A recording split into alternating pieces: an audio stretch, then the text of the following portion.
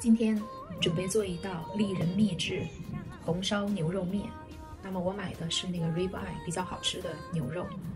嗯，当然了，有人是用牛腩，但是我觉着我喜欢用牛比较好的部位的肉做出来的面是非常香的。我准备了葱、姜、蒜，准备了一些花椒，几个干红辣椒。这个小油菜可以当做配菜用。那么我用现成的啊，超市买的兰州拉面。锅中加入冷水，锅中加入冷水，最好是没过肉。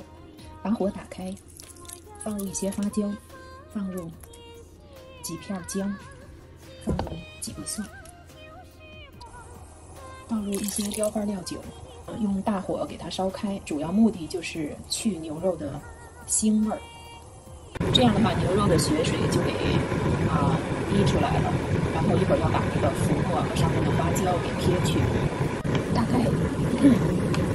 锅里的水一烧开，肉呢变成白色就可以熄火了。然后把肉给捞出来。肉焯好以后呢，我用罩铃把肉从锅里捞到一个盘子里。不过呢，我还是把那个花椒呢给去掉，把肉呢再换一个碗煎。因为有时候你要是吃肉的话，吃满嘴花椒那个感觉稍微差一些哈。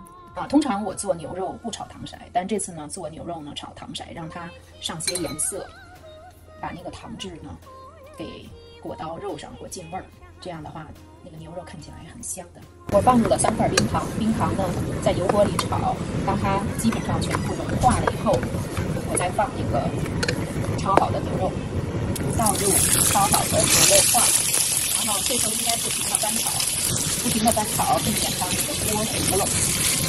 翻炒大约一两分钟左右呢，我把葱、姜、蒜还有干红辣椒倒到锅里面，让这个佐料呢和肉炒出葱香、葱香味。有些人不放蒜，但是我喜欢吃蒜，所以我喜欢肉里面有一些蒜香的味道。倒入一点生抽，再加入一点老抽，继续翻炒。我呢又多加了一点料酒。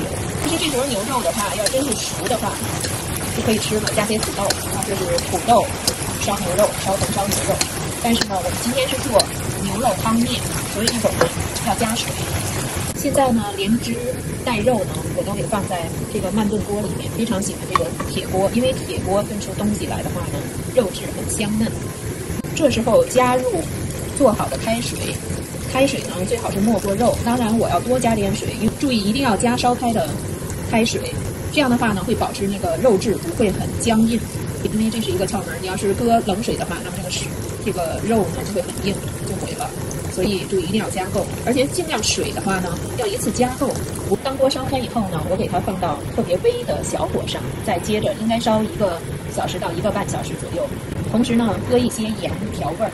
通常我做的话呢，我会用这个小东西，啊，里面放上花椒，这样它不会散的哪都是。然后给它搁在锅锅中一块炖。